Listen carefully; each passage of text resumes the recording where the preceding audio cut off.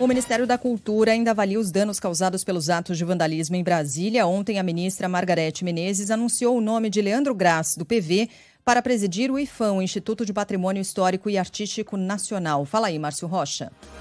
A ministra da Cultura, Margarete Menezes, vai criar um memorial para registrar os atos antidemocráticos do dia 8 de janeiro no centro da capital do país.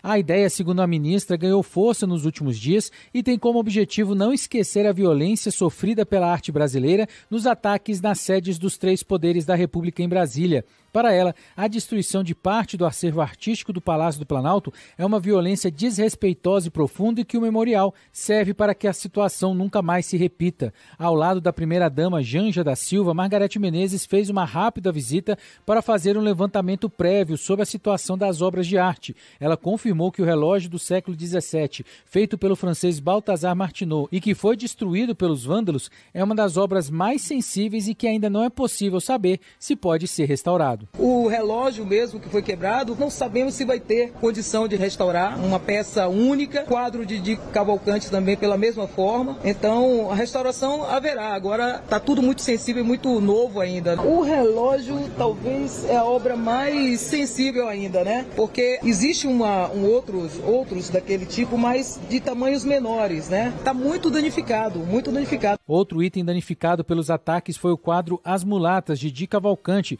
que pode ter um valor de até 20 milhões de reais e que também vai passar por uma avaliação para saber se ainda pode ser restaurado. No comunicado que confirmou Leandro Graz como novo presidente do Instituto do Patrimônio Histórico Artístico Nacional, Margarete Menezes afirmou que vai alinhar junto com os servidores do IFAM como vai ser o trabalho de recuperação do acervo destruído. Tem informação agora, mais informações, na verdade, né? Um novo levantamento sobre os estragos provocados por esses vândalos, por esse pessoal que não tem a menor noção da realidade na Praça dos Três Poderes. Ivan Brandão, o que, que você conta de novo pra gente? Relatório, bom dia. Bom dia relatório uhum. preliminar da Câmara dos Deputados. Antes, rapidinho, só sobre o Leandro Graz, né, que ele foi é, agora indicado à presidência do IFAM, ele conversou conosco aqui na Band News FM antes de ter sido confirmado como presidente do IFAM, mas a gente perguntou, foi o Bruno Camarão que fez essa entrevista, falou porque o nome dele já era cotado uhum. e ele uhum. disse que tem é, conhecimento nessa área, que ele já conversa há muito tempo com todos os integrantes do IFAM e que ele sabe das dificuldades que existem que a gente já apontou aqui em outros momentos, né, em relação ao orçamento, em relação a, a, a, áreas de dentro do IFAM que ficaram paralisadas por quase dois anos e vai ter um desafio grande aí em relação a, ao patrimônio histórico e artístico aqui do país. E em relação à Câmara dos Deputados, né, ontem a gente trouxe aqui um valor de 100 mil reais, que era aquilo que já tinha sido contabilizado. Agora, um relatório preliminar que foi divulgado pela casa já aponta aí que é, os danos causados pela invasão já ultrapassam os 3 milhões de reais. Tiago tá pondo na tela lá na live, né? É, os itens que, enfim, já, já conseguem ser é, quantificados, por exemplo, só os 400 computadores que foram danificados valem 2 milhões de reais. O balanço não leva em conta ainda o valor da mão de obra, que vai ser usada para fazer os reparos emergenciais ali da rede elétrica, da plataforma superior do Congresso Nacional e da limpeza dos ambientes que foram invadidos. Duas viaturas usadas pela Polícia Legislativa foram danificadas, tem um custo estimado de 500 mil reais, os vidros das fachadas vão custar 100 mil, o tapete do Salão Verde, que foi queimado, depois encharcado pelo sistema de combate a incêndios vai custar 20 mil reais. Foram encontradas avarias no muro artístico de Atos Bucão, inclusive há vídeos que circulam na internet. Esse, é, é, esse muro do Atos Bucão, fica ali no Salão Verde, ele é uma espécie de. É, é uma área onde entra ar, não sei como é que, que chama aquilo ali, um basculante, mas por onde as pessoas fugiram. É, inclusive com uso de cordas é, os invasores da Câmara, há vídeos mostrando isso. É, a galera que estava na plataforma superior do Congresso jogava as cordas e puxavam as pessoas de dentro do salão, içavam, exato, as pessoas que estavam ali no Salão Verde, e é aquele, é aquele muro ali é, do, do, do Atos Bulcão. É, seis itens são considerados irrecuperáveis, outros foram roubados, a gente falou aqui é, da escultura bailarina, falamos é, do, da, da, bola autografada pelo Neymar, mas também a pérola do Catar, acho que tem foto dela aí também para quem está na live, foi um presente oh. dado pelo é, ministro das Relações Exteriores do Catar ao então presidente da Câmara, Rodrigo Maia. É, tem uma, uma, uma, uma peça, Carla, Sheila, Ellen, de um, um, valor sentimental que também foi destruída, essa está sendo restaurada, que é a maquete do Congresso Nacional. A maquete do Congresso Nacional, é, eu acho que ela é um dos itens mais visitados por quem uhum. vai até o Salão Verde, principalmente as crianças. Todo dia, é, bom, todo dia, né? Mas em dias normais, são muitas as escolas. Em Brasília, as escolas fazem muito esses passeios né, de turismo cívico, né?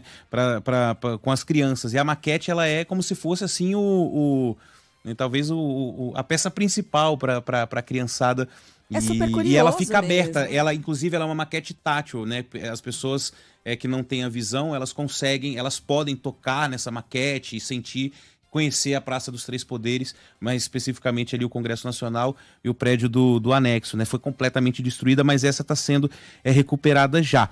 Mas com esse balanço aí que foi divulgado pela Câmara, tem notícia boa também. Oba. É, é, é, obras e, e, imagens que a gente é, tinha informação de que tinham sido danificadas, passaram por uma avaliação e não foram danificadas. O painel Candangos do de Cavalcante, que fica no Salão Verde, que é uma obra lindíssima, não foi danificada. O painel Araguaia, também da Mariane Peretti, que fica no Salão Verde, o alumbramento também da Mariane Peretti, que fica. Esse fica. O Araguaia fica no Salão Verde onde fica o plenário, e o alumbramento no Salão Branco, que é a chapelaria, logo a entrada ali da, da, da Câmara dos Deputados, não foram danificados, tá? Só para dizer que essa invasão na Câmara atingiu também o Salão Negro, o Salão Branco, Corredor das Lideranças, Colégio de Líderes, a liderança do PT, a liderança do PSDB, e esses é, locais onde houve também uma destruição severa, principalmente na liderança do PT, é, o prejuízo ainda não foi contabilizado. Então, se a gente for somar tudo que a gente tem até agora, são só relatórios preliminares, né? Agora, depois das perícias, o IFAM vai, é, vai fazer essa contabilidade também e tal, mas é porque eles precisam ajeitar essas casas para o começo do ano legislativo. A gente já tem mais ou menos uns 8 milhões de reais em prejuízo, somando Senado e Câmara dos Deputados.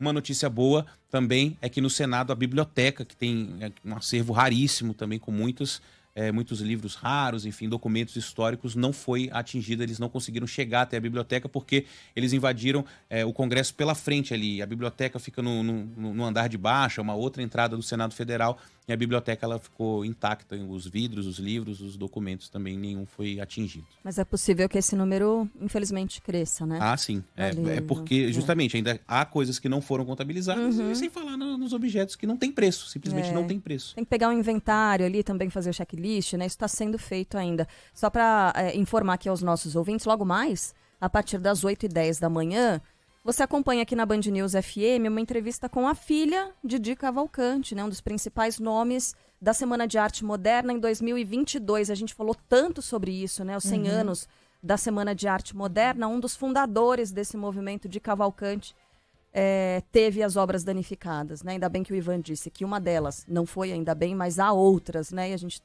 Principalmente aquele quadro, né, Sheila? As, As mulatas. mulatas é. As mulatas ficavam no Palácio do Planalto. Isso. É, e a gente vai conversar com a Elizabeth de Cavalcante Veiga. Então, daqui a pouquinho, para falar um pouco mais sobre a obra do pai também. E aí, né? Como é que se sente a filha, representante de toda essa obra, ao ver toda essa destruição?